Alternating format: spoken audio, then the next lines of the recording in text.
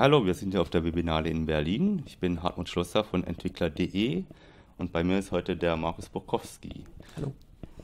Hallo Markus, du hast äh, äh den äh, Tag Emerging Technologies hier auf der Webinale kuratiert. Ja? Darüber wollen wir ein bisschen sprechen. Was erwartet uns da morgen? Ja, wir haben dieses Jahr einen extrem spannenden Tag zusammenstellen können. Das ist immer eine große Herausforderung, diesen Tag zu kuratieren, äh, weil es natürlich äh, alle zwei Jahre komplett neue Emerging Technologies gibt äh, und wir nicht wirklich auf unseren Pool von bekannten Speakern zurückgreifen können und immer neu suchen müssen. Und wir haben dieses Mal fast so ein bisschen einen dystopischen Tag gebaut. Ähm, wir haben einen unfassbar tollen Talk zum Thema Social Scoring System in China äh, das ist sozusagen ein bisschen die Antipode zu unserem äh, EU-Datengrundschutz, den wir hier gerade zelebrieren.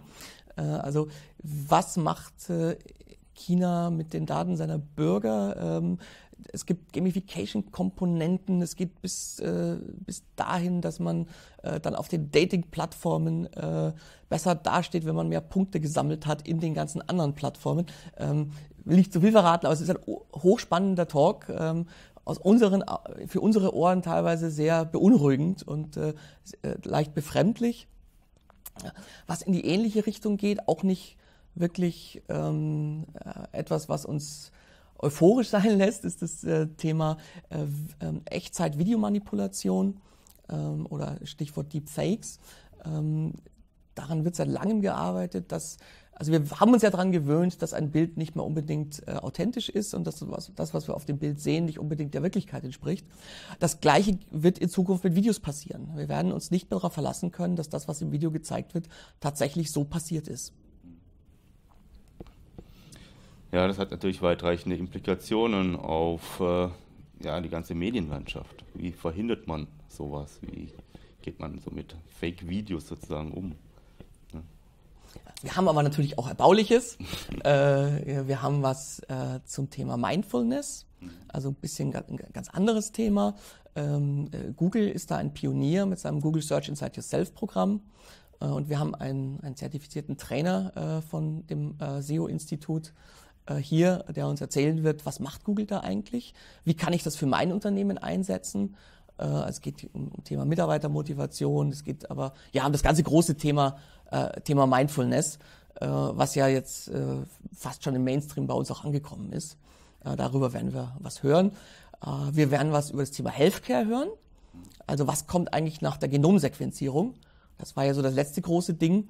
Ähm, und wenn man guckt, in was alles investiert wird, in, äh, aktuell, äh, speziell in den USA, äh, in diese Healthcare-Firmen, wie viel Geld da reinfließt, dann wird eine ganze Reihe äh, an Dingen auf uns zukommen. Jetzt eher so im äh, Abschnitt von zehn Jahren vielleicht. Und da haben wir einen Referenten, der uns dann einen Ausblick geben wird, wie wird sich denn der Healthcare-Sektor ganz konkret auch für uns als Patienten oder als jemand, der sich um seine Gesundheit äh, ähm, bemüht, äh, verändern. Du selbst bist im Bereich Emerging Technologies ja auch ja, immer vorne mit dabei, also erkennst das als ein strategischer Bestandteil deiner, deiner Arbeit, wenn ich das mal so sagen darf. Ne? Was ist da für dich momentan gerade noch besonders spannend? Ja, man weiß es dann immer erst hinterher, was jetzt wirklich spannend geworden ist. Äh, also wir haben uns lange und tun das immer noch mit dem Thema Virtual Reality, Augmented Reality beschäftigt. Ist ein, eine Technologie, die in der breiten Masse angekommen ist, aber es aus der Nische eigentlich nie wirklich rausgeschafft hat, muss man sagen. Äh, aktuell ist sicherlich das Thema Voice so einzuordnen, wo man auch schauen muss, ähm, gibt es jenseits von ein paar spezifischen Anwendungen, wo Voice wirklich Sinn macht, äh, Fälle, das ist das klassische User Interface, wie wir es kennen vom Telefon. Also ich vergesse jetzt mal den PC, ich bin jetzt schon komplett eigentlich beim Mobile, weil das ist eigentlich das primäre User Interface für die meisten Leute, womit sie das Internet oder digitale Dienste nutzen. Ähm, wird das tatsächlich verdrängt werden ähm, durch, durch Dinge wie Alexa? Äh, ich bin mir da noch nicht so wirklich sicher.